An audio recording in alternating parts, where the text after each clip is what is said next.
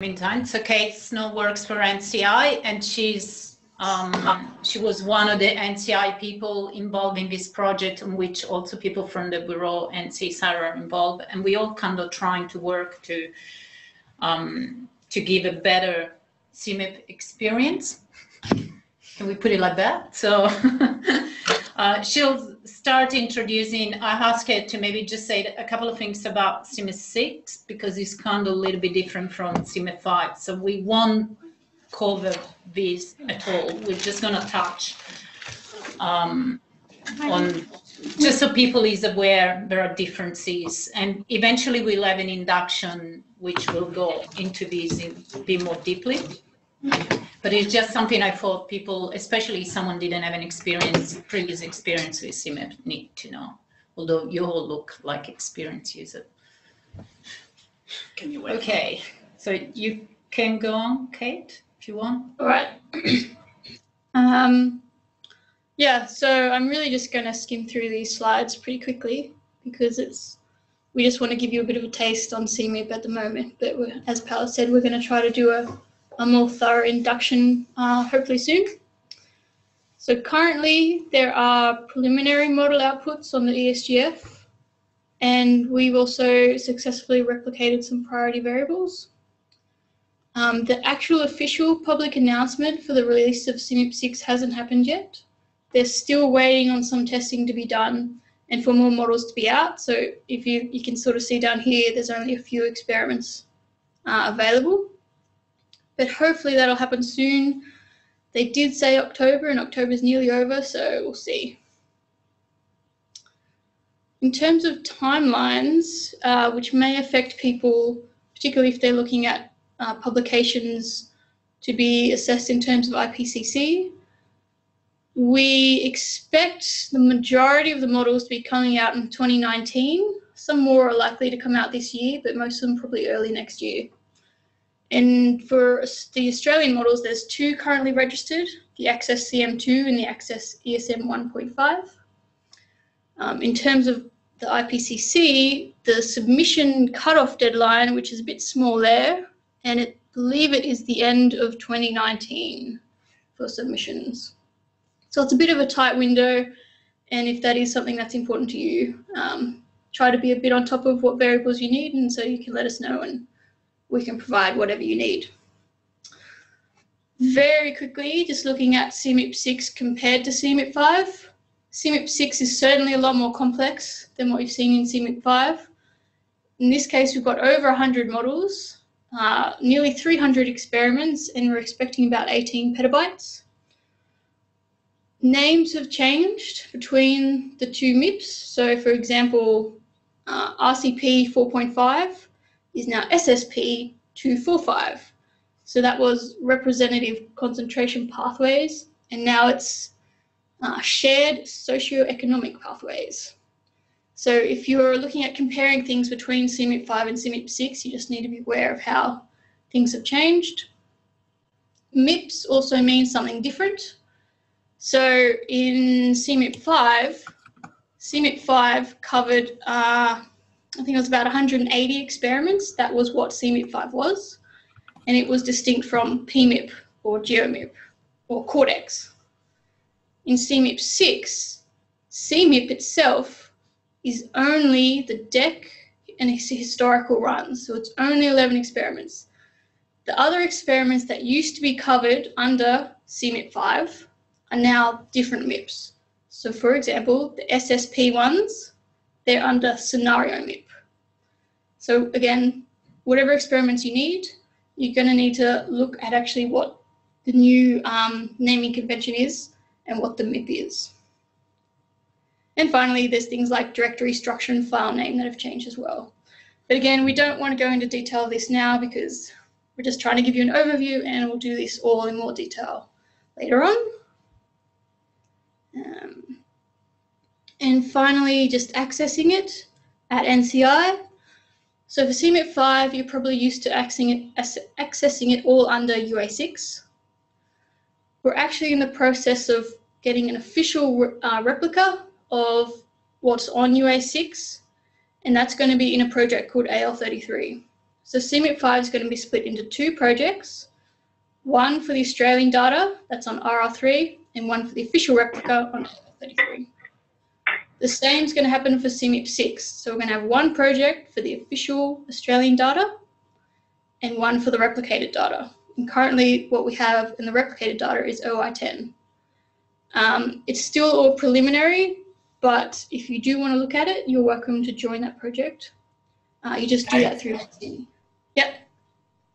When you say Australian CMIP five or CMIP six, is that how does it how is that different to the replication?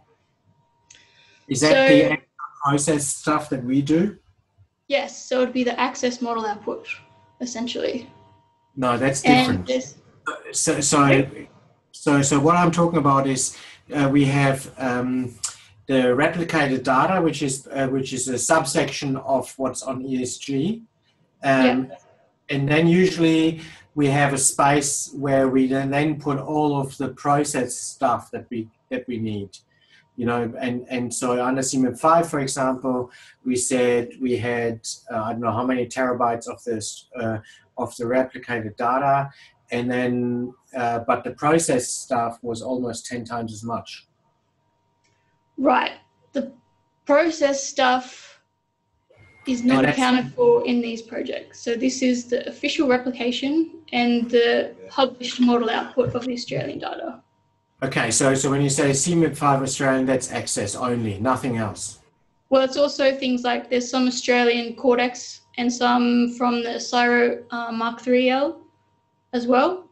Okay, yeah, yeah, but it's basically the contribution for up that was uploaded or that's available across the. Yes. the so, yep. so that, because that raises the question of where and how um, we process that you know the data basically because that is like as, as I said we the, the estimates I've been giving to to Peter May and, and others here it's usually around 10 times as much as what we download as this the the our priority um, replicated stuff that's locally available. Yeah. Um, sorry, around. Maybe we could leave this at the end because we got yeah. strictly one hour and it's more about the tool, but we just want people to be aware of this organization and potential. All right, cool. Um, so then I'll pass on to Carla. so okay, great. so um, as we say, part of this project was to provide a tool. We did that with 5 at some stage. Uh, we did create our own database and we have this tool called ARCCSSive, which we use ourselves to help us working out um, what user were looking for and then some some people that I can see here as well um, might as well use it. Um, eventually, NCI uh, created a database which is called MAS, which index allows you to index all the files you have in a project and also load all the attributes from these files um, onto a database table. And so we we started looking at um, basically using this database rather than the very simple SQLite for a lot of good reason. Um, and this is the result of it. Um, at the moment is is working mostly as a command line is working only on the VDI, and this is because basically you need some sort of level authorization to um, uh, to read the database, and currently that's what we got. But eventually, it will work on Raijin. It will be part of um, our Conda modules. At the moment, we have this uh, test environment that you can try to use, um, and this are the free comments also sent by email if, if you want to try to access it. Um, to so to be able to access it later on, you will have to request to be part of the OI10 project, I think, or we'll confirm that later, um, which you will have to do in any case to access the CMIP6 data. So it should work fine like that. Um, so if you stop sharing, I'll go to the notebook and we can start seeing uh, an example of this work. I'm sorry, I need to find my and share. Okay, so I'm using a notebook here, but um, really you don't need it. In fact, it works a lot better just on the command line. I'm just using this so then it's a bit annotated and people can download it and, and have a go. Um, so uh, I guess we start, just a second, to remind myself. Right, so remember this is still like a new release. It works both for CMIP 5 and CMIP 6. CMIP 5, as you know, if you um, is the one actually we have a few more problems making it work properly because there's a lot of exception. If you have an experience with CMIP 5, you will be aware of that.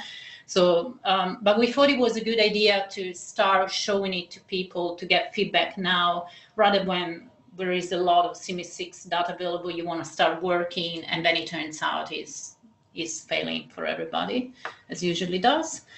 Um, so let's start seeing it. Um, as I said, it, although it's all written in Python, uh, it just works as a command line. So once you have um, activated your test environment, you can just run clef and it will tell you what's the basic usage. Basically what we done, it will be the corresponding that I mean run with the help option. And as you can see, there are a few options there apart from help, which are mostly um, um, going to manage the way the results or the query um, will be handled. And then there are a couple of subcommands, uh, which we decided to use a different subcommands for each data sets. And maybe in the future, we'll have something, say, like Cordex, we'll do a specialized search on Cordex.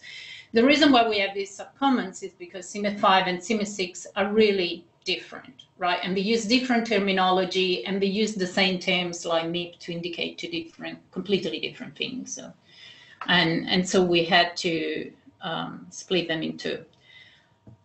Okay, so let's look what the 5 help tell us.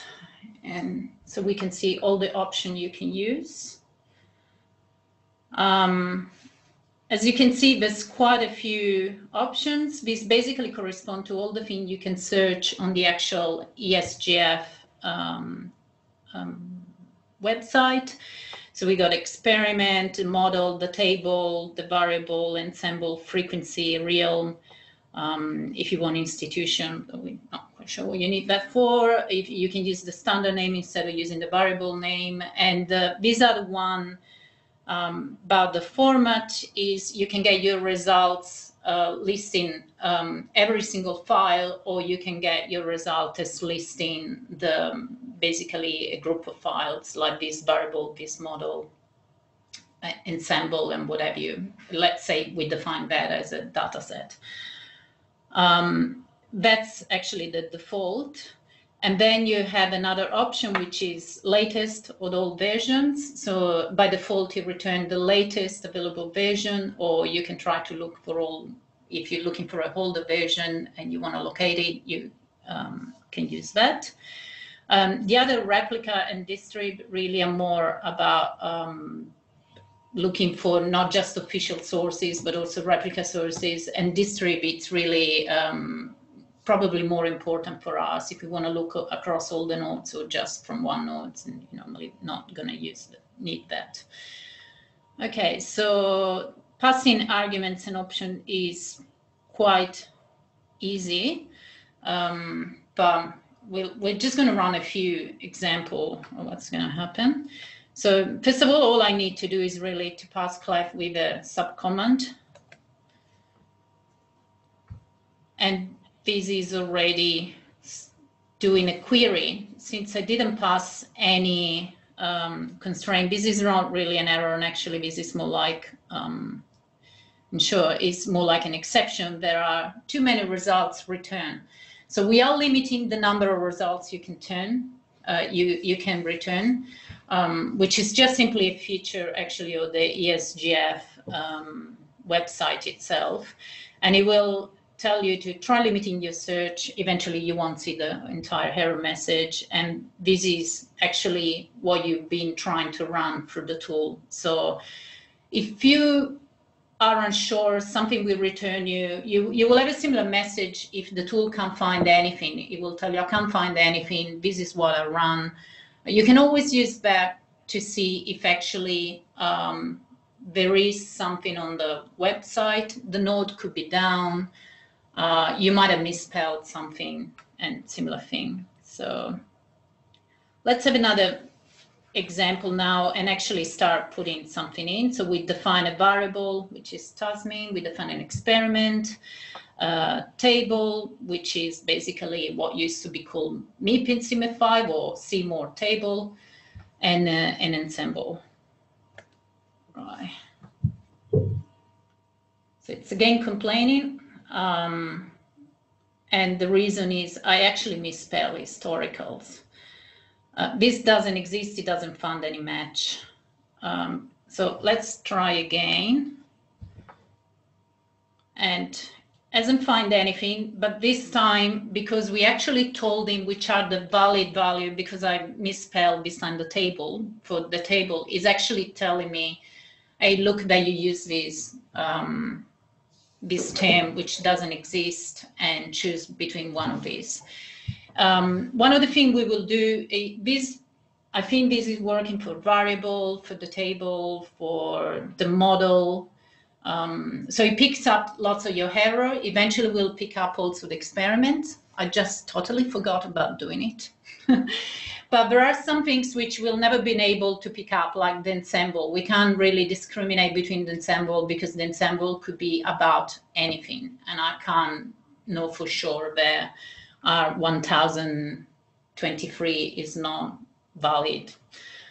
Um, okay, so let's finally running without any mistake. Okay, this is what returning. So it's, is um, and it's still running in fact. Uh, first of all, it tells us where as you find uh, local files that match this query. This is normally a lot faster just on your terminal, but let's bear with it.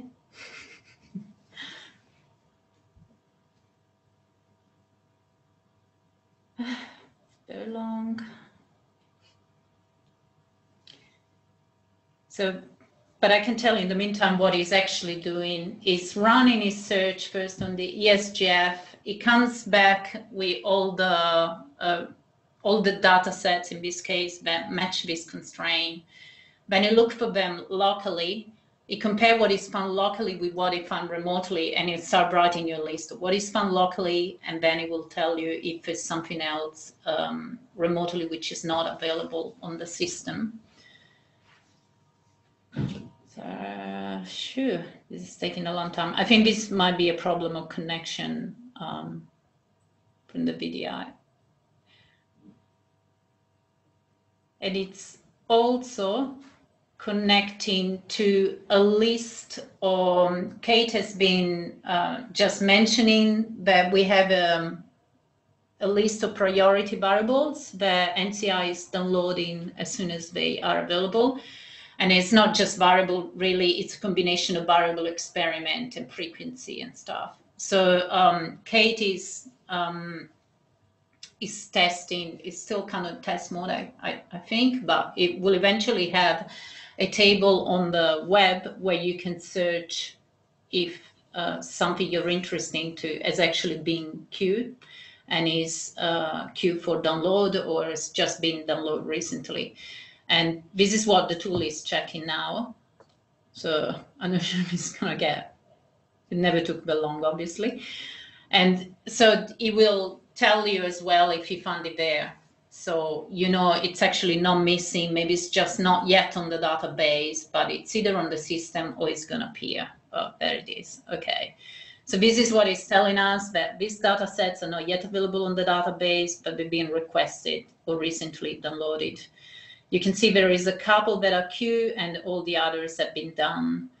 Um, because this all this thing currently the database and these tables are updated really regularly. Um, the result aren't yet, um, you know, reliable in a way. Um, but then eventually we'll have an update, probably daily, or something similar, and um, you'll be able to see something has been requested by someone else. Finally, a, it write down what's available on the ESGF, but not locally. Right. Um, one other thing I should point out is if you can see this, this is not referring to the UA6. This is referring to the new replica of CMIP5. So for the moment, if you still want to look for CMIP5 data, just use ARCCSSive. Okay, so we just look for the latest. Now I'm just limiting to the Access 1.0 model. Before I didn't select the model, so it was just returning results for everything. And here, if I want to look for the older version, uh, is bringing back older version for Tasmin and Access 1.0. Now, um, because I tested this a lot, I know there's, there's actually a bug in the ESGF node here, which doesn't show the other ensembles. They should be ensemble. Um, it's just ESGF returning this. So for CMIP5, we're always going to have a little bit of uncertainty linked to the fact that we are analyzing response for the web, which are wrong. Um, we'll be working on this. But... So, Paola? Um, yes. On that line there, you put access 1.0. Yes. But the model name is coming up as it, 1 hyphen 0. Yeah, the, the tool will correct that. Okay. okay. So whichever way you put it, there are uh, a few models. Access one, normally the one which have a dot in their official name. I don't know if this is repeated also in CMIP 6. Um, then the I can't even remember exactly how it works, but uh, say the search uh, will upset just one version of it, uh, but then in the files. Um, is written in a different way. So basically, all the file names won't have the dot because it's a bad practice, but the search maybe gets it with a dot. But whichever one you put, it will be corrected automatically by the tool. And that's something that we did for ARCCSSive as well. Um, yeah. Should have met about with spotting. Thanks. Paola. Um, finally, yes. Quick question. So uh, that's a really nice listing. Do, can you also list the, the actual file names? Um, you can if you put files. So I could just try to do, um, ooh, can't remember. It's format probably, file. I must have forgot to put um, an example of that. Oh, yeah. That gives you the file. Cool. That gives you the file, and eventually we might add with the file thing, we might also have the tracking ID. I'm not sure if we're going to do it as a completely separate flag or as a thing is one of the things I would like to ask some feedback actually. Um, okay. Then we got the CMIP 6. CMIP 6 basically, um, mm, sorry, I left this from one we have the environment. Okay, CMIP 6 works in the same way, just has slightly different options. And this is because, for example, the MIP, which is also called activity, uh, is this grouping of experiments that um, Kate was talking about. Uh, then we got the experiment is the same. The model, for example, has changed name to source underscore ID. What we done here, and actually I didn't uh, point it out before, is that we often give a couple of names, options, um, depending on what you're used to and where you're coming from. So, you know, uh, to make it easier a bit to switch between the two commands. And also we have abbreviated option, obviously, um, which makes it just a little bit easier. So uh, the member now is what used to be called ensemble and has also an extra um, part to it, which is the forcing, which is this F at the end. Then there are new thing, new completely new things, which is like the grid, uh, it will allow you to search through model which has output, output which is say on the native model grid or which is regridded or sometime which is regridded on a particular grid on a particular region. Um, you really have to look at the CMIP6 documentation to know what all these labels means. And then there is another one which is nominal resolution, this one here, which is more like an approximate resolution. There is a complicated way they calculate that. And this, for example, 250K, I think it means anything in which this calculated resolution falls between 100 to 250K. But if you are looking for a particular, you know, um, resolution in LP to discriminate between different models. I'm trying to think if there's other things which are wildly different. Probably not. So let's run an example of this. sorry, again, I need to correct that.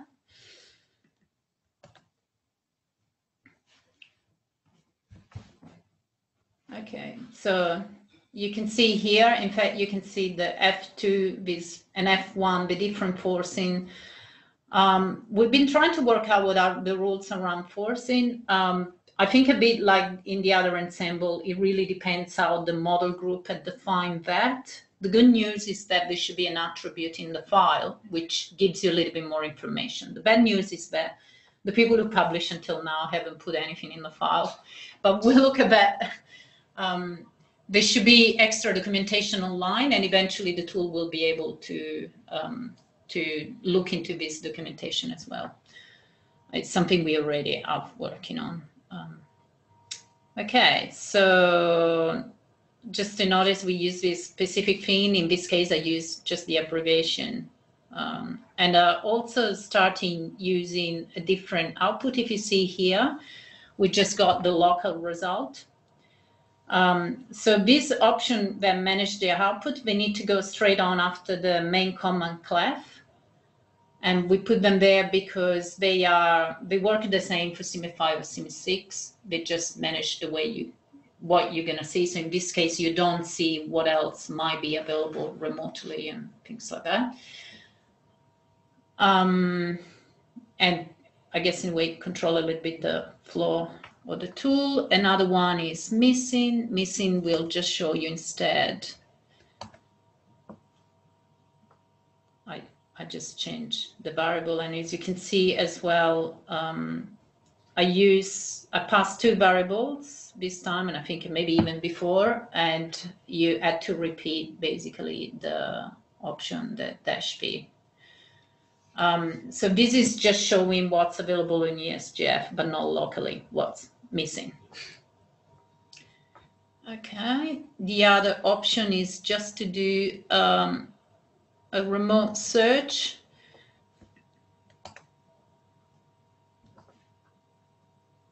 which shows anything which is on the um, um, on the ESGF, is independently that we have it or not. And uh, finally, okay, this is where I was going to show that we can change these in the format as a file rather than, so as you can see, these are all the files. Okay, this finally the last option, um, which is request. So this is a little bit different. And this is the way you can actually put in a request uh, for new data. So before going on, as we said, um, well, we didn't quite say that, but there was a decision that NCI should be the only one downloading the data. NCI we use to download any data these other tool called Synda you don't even need to know. Um, and so every request for data will be need to put to NCI. Uh, Kate has prepared, I think, um, a Google form you can fill in for which she can receive the request. And this is another option um, to prepare a request. Um, you can then send to NCI. And basically every time you send a request, you do a request like that, there's going to be a ticket open on the help desk and and someone will follow up.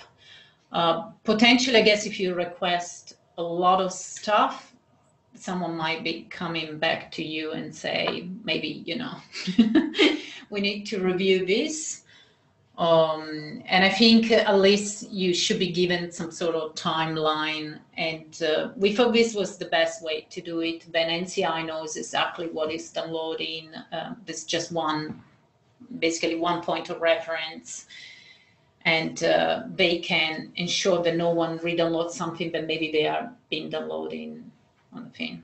Um, what the tool allows you to do, um, and what I suggest, even if you don't want to use this tool, to still look at what's already available before you actually put a request, if you put a request through the Google form. Uh, the tool will do this automatically for you. We'll just cut down what you can request. You, you won't be able to send in a request through this tool or, or something which is already there, or even something which is queued. Um, Otherwise, it works very easily. So I, I had to use a slightly different way here because it will ask us a prompt and I'm going to tell it, no thanks, don't create an help desk ticket. And what it's saying is, it's first telling you that these files are available on the ESGF, but not locally yet. And then it's been writing a list of the data sets I did that identify these um, particular files in this file in the directory where I'm working now currently. And we'll have a look at the file. It's really very simple. And then he's asking me if I want to proceed and request the missing file. By default is no. Uh, if you pass anything like um, capital or lowercase y, yes, um, it will send an email to the NCI help desk. Uh, if you don't want to request immediately, your file has been saved. In any case, it tells you where it's been saved. And you can always send this um, by email to the help desk or going on the help desk website and attaching, um, just add it as an attachment to your request. Um, this is pretty much what it's showing. Now, if we did have um, this is what's inside the file basically. It's just something that this tool Synda can get and and straight on queue these files for download.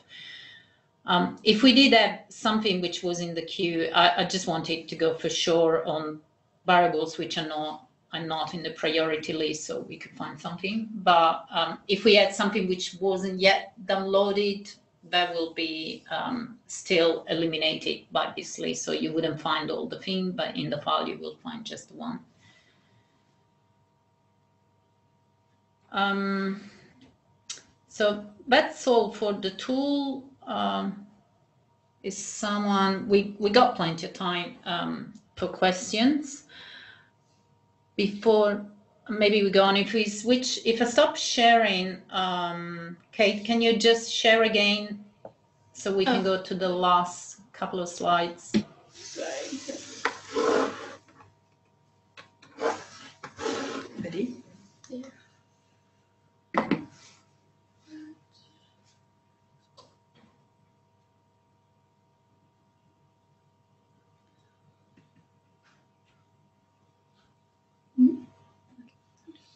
Okay, so these are future announcements we are planning, probably already working on. I, I, I lose track all the time. Um, improving the local search results, particularly CMIP5, and this is really handling the whole exception which makes our system fail and uh, add more validation for the various arguments, um, in particular the experiments one, uh, returning the tracking ID, which is said it could be returned just as a um, as default with the files, uh, because I know you guys need to list the tracking IDs and stuff, or might just be added um, when you run something like a verbose flag, which will return extra information you find in the file attributes. So this time the file attributes are meant to have a lot more information. So we were thinking maybe to get you a CSV file, like a table in which for each data set you find, you're gonna find this is the first thing, this is how the model, you know, the different components of the model, if there is any errata or all the tracking ID into another field and things like that. The way we're gonna do it is um, every file contain a URL like that, which has the further info. At the moment, there's really no further info in there. we, we check all of them and then we finally discover the ESGF told us, oh no, we, it's just, you know, a prop there. It's just taking the place, but eventually that, at that URL, you will find is there is some errata. Clearly, when you maybe working with 50 models, you don't want to have to go and click What? for everything and open the file and looking at it. It's fairly easy for us to add this. So um, I'm gonna do this. Um, we RSSI, you, we have function which help you to just integrate it in your own script because at the moment it's purely a command line. It doesn't mean that if you go there and clone the GitHub repo, you might not be able to integrate it better in your script, but eventually we'll look into functions that makes this easier. And uh, similarly, we we thinking we we know there's a lot of people, especially UNSW, use R. Um, we might get some help actually, someone else offer to help us, maybe integrating the whatever work we done to connect to the database we are, and potentially adding other constraints which works in a less straightforward way, like uh, selecting um, data sets which cover particular time periods. I'm thinking of, um, for example, things like uh, pre-industrial control often covers very different time periods, and some people sometimes need just the model which had that kind of thing. And anything else that you can think about, uh, which is why we prefer to show it to you now um, rather than waiting later on. Uh, Paola, I have a question. Yeah. Um, so it's David UNSW. Yeah. Um, so uh, I guess it's it's on two uh, the, basically two questions. One, um, are we going to do, what's the strategy for checksums um, for files once they are downloaded? Um, are we going to do frequent consistency checks on the Uh, directories? Um, Um, not really. I mean, Synda will manage all of that. In fact, the tool itself uses the checksum, um, we, which is why we need to improve the local search because sometimes the checksum aren't available on ESGF with CMIP 5 or there are little other quirky things. Hopefully not very often, but it happens. So the tool basically download the checksum um, um, you know, just it just doesn't get. Oh, okay, I found these file names. You say I found these file names and the checksums are these, and then the from the ESGF, and then we look for exactly the same checksum in the database to locate exactly the same file. Yeah, but that's that not was my sense? question. So, so my question is, um, let's say we download a petabyte and that sits on uh, um, on NCI. Uh, it's almost guaranteed to have, as time goes on, goes by, uh, to have errors. So it's not on a download stage. It's once the data is there. Yeah, Um, but the this- database will get updated. The database calculated is the checksum from the file system. It doesn't um, add the checksum from the ESGF to the table. And Synda will do the same. Synda will, uh, once something has been um, added, it will look eventually also for changes and things. So the short answer is no. We are not doing check uh, Oh, checks. well, no, well, we are. Every time we re-update the data, every time the database gets updated fully, it also update the checksum of the file. So every time you recrawl the file system, which might not be um, done very often, but it will be done, you know, uh, every once in a while, um, then the checksum attached to the files will change if the files have got corrupted or changing. I guess So- that kind of bring me to the next question. So, um, so first of all, uh, from time to time, errors will be found in files uh, in ESGF, and they're going to be uh, uh, updates. Um, what I wonder is, and, and that also go to files that we find locally that are corrupted.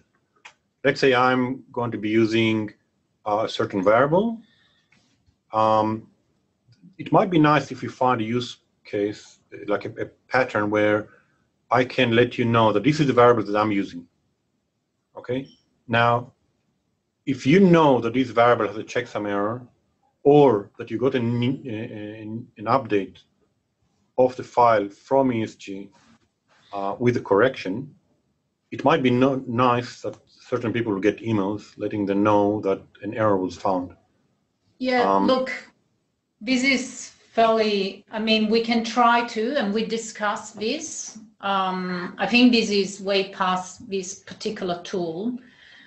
Um, I know that in the past, actually, although not many people knew, CMIP5 used to have a RSS feed or something like that. You could, so you could subscribe for a very specific experiment, like you say, down to a variable and every time something new was published, which corresponded to, you know, that group of constraint, you will get a notification. I ask if something like that is going to be available, and that's not quite clear to me that it is. We could um, potentially um, create something using that ESDoc interface. So we could add something that's just thinking about it now, maybe the, the one thing we can do through the tool is to let you write some sort of log, um, which will create a link to whatever you're using, and then you could compare that if something has changed or get just you know um, Yeah. get a list the place where you need to go. There's other things we couldn't look into, which is some persistent identifier, which are not just a file level and not just a tracking ID, is like this particular data set identifier or experiment identifier and whatever. So you should be able to build something similar with that, but we do not have access to that yet. Our RSS might work. So basically, you just let the user decide if you want to register or not. You just apply the RSS feed, and he filters um, based on his the data set that he's going to be using. And at least he'll get a notification, and he need to filter them on its own. Yeah, yeah. I look, I agree with you, but the point is that's more like on a ESGF level. If there's, we can just use the thing in this tool that they do, that they make available, or we can find ways to go around. But for me, uh, to to, I will have to rerun this constantly um, to then be able to tell you, hey, look, something has changed. But I don't I guess- know. We'll guess my- think about my- if there is a way to create a simple script that the user can run on their own. To I, I guess my point is that uh, uh, uh, files that are have errors that come from remote and checksum errors that you find locally can be handled in the same interface. That's I guess that's my point. That if you if you find a solution for one, find also a solution for the other, and try to have the same interface for, for both. Um, yeah, but this necessarily not. Um, yeah, I Anyway, don't know. think Maybe we about it. should discuss this another thing. I think some of the things you are looking for are already there. What's not there is the notification. Okay. I, I, I don't have a way, and it's really for NCI to have a way to, to have a list of user and what they're using and a place where people can record what they're using and get notifications. I, I can't really do that. Sorry, uh, can I ask a question? Yeah. Yeah. Um, so, so uh, th- thank you. This looks like a really, really helpful tool. Um, I, I was just wondering whether you could say a little bit more about Cordex, because I know, um, I know Jason Evans here, for example, is starting to run a whole bunch of Cordex simulations for Australia, and it would be really nice to see that kind of thing included. Um, and I don't know whether like you've already been talking to him about uh, making sure that his data can be integrated into this tool. I'm not quite sure how much work there has to be done at the kind of provider end of the data or whether it sits on the tool developers or a bit of both. Yeah, no, actually, that's the future announcement. I forgot. Uh, basically, anything which is about the ESGF can be relatively easily um, added. Um, the only reason we didn't do it now, we want to make sure that this was working for this at the start, and because we noticed, for example, where between CMIP 5 and CMIP 6, they did change the way, it's not just they different, but they also use different terminology when you do the search, and you had to search in onto slightly different website. Yeah. Um, but, you know, and Cordex will have arguments which are slightly different. So we didn't want to start adding everything together and then if something doesn't work, it becomes really difficult. But yeah, actually it was the next one in line. So um, Cool. we're definitely going to do that. And any, and the Cordex will be sitting at NCI in the same projects as the CMIP. Um, so we can add that to the database if it's not already in there. Probably is already in there. Anyway, Brilliant. so it's, it, we know how to do it now and we definitely are interested in doing that.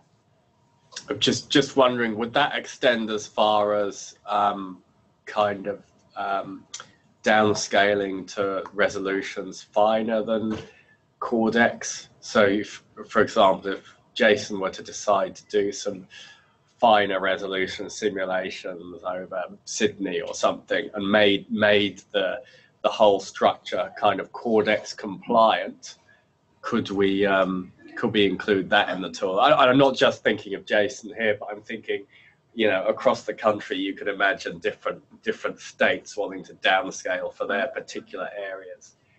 Yeah, I reckon one, at the moment, as I say, we are looking from the, all our starting point is the ESGF. Um, but we are looking this, um, we looking to add this kind of more just local search, so an extra search um, just on the database. And uh, if he has the same, if he uses the same directory structure and everything, and it's on the database, then that's totally possible, even if it's not officially published. Okay, cool, cool. Uh, and could I ask another question about the forcing and the SSPs as well? Um, so, so the name of the the the RCP 4.5 you said it changed to SSP 245, um, and that's that's that's just a name change, is it? Because I guess my understanding was there were these SSPs that that were kind of socio-economic storylines that could be consistent with, um, you know, one or more RCPs. So this is just like a cosmetic thing, is it? And Um, look, I know maybe Aurel can answer this better.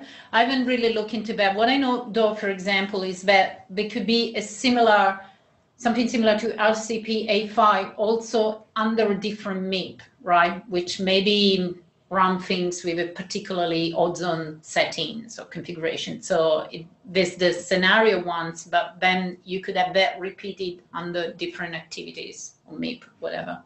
So, um, um, Ian, it's not cosmetic, and and if you look at, there's been a um, for each MIP, there's a publication out there that was published either last year uh, or the year before, and if you look at that publication at uh, uh, um, for for the scenario MIP, you will find that now this uh, scenarios is um, is a matrix, and it and it has on one side the the differences in the forcing, uh, like four, five, eight, five, six, and stuff. But and in the in the other dimension, um, it has the um, socio um, economic stuff. And so my my guess is that two, four, five refers to, to a position in that matrix. And and so ah, and so it'll be there'll be other possible four fives, but Hmm. um, the different years in the experiments tell you that not every cell in the matrix is required, and so there'll be tier one things in that matrix that that, that run there, but um, uh, not Uh, not everything is required. We have Cat has a mat- matrix. Cat has the matrix, so it's just the one. Ah, there you go. there. There you go. Ah. Um, yes. So there you see. So so two four five is SSP two and forcing four point five, and it and that is a tier one uh, requirement. So so it'll be part of the um, uh, tier one scenario MIP. got it, got it. So yeah, okay. So that's that's um, that that happens for for, the, for that example. We've only got um, four, five, and SSP two are the only matches there, and then it's a little bit more complicated for SSP1. Because the dark blue are all tier ones. Ah, So right. they're ones that have to be done. of, no, for each forcing is you see there'll be um, a one, two, six, two, four, five, a three, seven, and a four, uh, and a and a five, eight, five. These are the tier Mm. ones. Mm. Okay, okay, okay. And the F part of the, what you call it, the ensemble, will give more details about what kind of land use data sets and aerosol data sets used used in the forcing. Is that is that the right kind of idea? No, I'm not so familiar with the uh, with that one on on the on the naming con- what actually the F for forcing what it refers to. I'm not Okay. familiar. Yeah, so we we look into that, and it really depends on um, the the recommendation. I think was like use F1 for the main first thing you're gonna use, and then use F2, F3 if you change the first thing, kind of thing. Okay, okay. So you can, um, unfortunately, like like generally the ensemble or member or whatever you want to call it for Simplify, it, it just add meaning inside that particular model. You know, the group assimilation of that particular model. So um, hopefully, say access whatever it's going to be the thing I can't remember right now. We'll have we'll use you know uh, R1 I1, P1, and F1 consistently, and anything which falls Yeah. into that will have, you know, would have been run in a similar way. Apart, I guess R1, that's just the realization, um, and that's why we we are trying to connect to that ESDoc because and and we're going to make use of all the attributes which you haven't seen. There's a very long thing of attributes, and one is also uh, gives you more info about the model composition and more info in theory about the forces. So if That's that right. information isn't in the file itself, it should be on that document. It's just not, and, uh, and that's why we got back to the ESGF because our understanding is that that's required to publish. Okay, you can't publish anymore something uh, without giving enough information about how the model has been run, or what composed the model. Um, but, and then people had to go crazy and send you an email to work it out. So, Okay, Um, thank you. I've got a question for you, Paola. yes. So uh, just uh, um, seeing that we're just almost running out of time. Um, so the on the ESGF, there's also the ANA and OPS for MIP. Is that uh, part of that search um, that we could also search the OBS and the reanalysis data sets that are up there? And and related to this, um, I guess if we have the right directory structure, we could also have a local version of what we put together as ops and reanalysis that people might want. I don't know Mhm. if if that's I mean, I guess potentially the mechanism is there. The the the problem is when then people put um, publish stuff which doesn't follow Yeah. um, the various rules. So anything that can be searched on the ESGF in theory should be possible to um, be loaded or anything which is stored in this particular project or potentially we could add an extra project. But it's always the problem is always if you follow different rules, then it becomes a huge amount of work doing that. And it becomes more complicated to maintain it and doing all the other stuff. Which actually reminds me, if you can switch to the last slide. This one. So the last Okay, so I really have to thank Scott, who's been doing all the hard work on connecting the mass, which was really amazing. And then obviously, um, um, Kate has been incredibly helpful. Sean Pringle works for NCI and is the guy who works on the mass database, and Claire Tram as well for giving a lot of feedback and testing and ideas and all sorts of things. So thanks again, particularly Can- Scott. Thanks. Can I add something on that subject Yeah. of um, what could be searchable and um, if you really want something to be searchable via this tool, we would really appreciate help developing it. So uh, don't hesitate to volunteer. okay. well, Well, thanks for every to everybody who contributed to this. It looks really awesome. Yeah, it looks awesome. Yeah, thank you. Thank Yeah, you. thank you. Chris. Thanks. So we'll Is- Are we good? No more questions? Hmm. Okay, perfect. Thank you for coming. Thanks for Thank coming you. and give us feedback, please, and ideas. Yes, we'll do. Yeah. Yes. Thanks, Paola. Thanks, Paola. Thank you. All right.